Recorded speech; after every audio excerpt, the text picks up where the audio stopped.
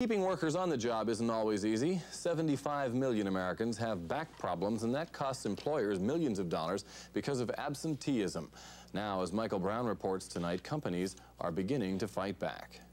Stretching, going up and down all day long, lifting heavy weights. The stress of bouncing up and down while pedaling all day long. All of this is tough on the back, making back problems the third leading cause of work-related absenteeism behind headaches and colds. Even sitting at a computer terminal is tough on the back, as many people are finding out. One company is making a mint on chairs specially designed for computer workers. Forces you to sit back up straight with your shoulders squared so that you're getting a much more um, accurate back um, posture. Nearly one out of every four of us has some sort of a back problem, and for companies that translates to millions of dollars a year in insurance and medical costs.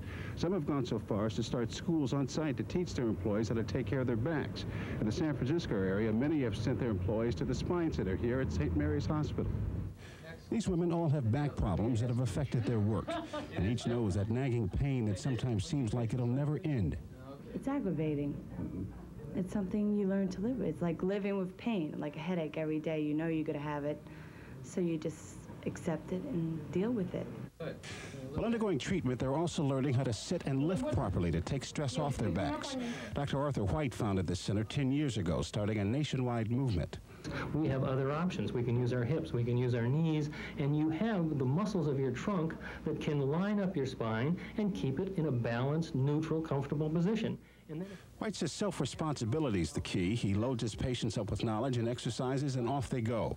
And he says his success rate is high because they come here with a great incentive, pain. That's it. In San Francisco, Michael Brown, Channel 5 Eyewitness News. Three companies here already have back schools of their own. Other companies in the Bay Area say they have schools on the drive.